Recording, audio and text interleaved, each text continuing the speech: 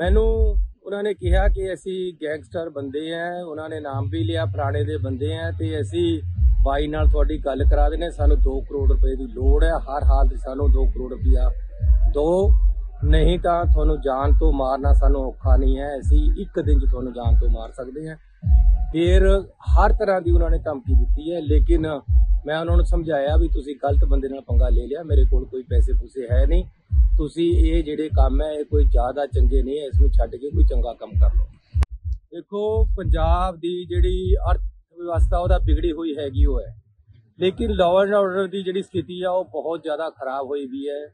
ਸ਼ਹਿਰਾਂ ਦੇ ਵਿੱਚ ਵਪਾਰੀਆਂ ਨੂੰ ਜਾਂ ਜਿਹਦੇ ਪਾਸ ਚਾਰ ਪੈਸੇ ਆ, ਉਹਨਾਂ ਨੂੰ ਜੀਣ ਨਹੀਂ ਦੇ ਰਹੇ। ਧਮਕੀਆਂ ਆ ਰਹੀਆਂ, ਪੈਸੇ ਬਟੋਰ ਰਹੇ ਹੈ। ਲੋਕ ਪੁਲਿਸ ਤੱਕ ਇਸ ਕਰਕੇ ਨਹੀਂ ਜਾ ਰਹੇ ਕਿ ਕੁਝ ਵੀ ਉੱਤੇ ਅਸਰ ਨਹੀਂ ਹੁੰਦਾ। ਜਦੋਂ ਇੱਕ ਸਾਬਕਾ ਮੁੱਖ ਮੰਤਰੀ ਜਿਹਦੇ ਪਾਸ ਅੱਗੇ ਵੀ ਜਿਪਸੀ ਹੈ, ਪਿੱਛੇ ਵੀ ਜਿਪਸੀ ਹੈ ਸਿਕਿਉਰਿਟੀ ਹੈ ਹਰ ਟਾਈਮ ਉਹਨੂੰ ਧਮਕੀ ਆ ਸਕਦੀ ਹੈ ਤਾਂ ਆਮ ਵਪਾਰੀ ਦਾ, ਆਮ ਦੁਕਾਨਦਾਰ ਦਾ, ਆਮ ਕਿਸਾਨ ਦਾ, ਆਮ ਲੋਕਾਂ ਦਾ, ਪੰਜਾਬ ਦੇ ਵਿੱਚ ਰਹਿਣ ਦਾ ਕੀ ਹਾਲ ਹੋਏਗਾ?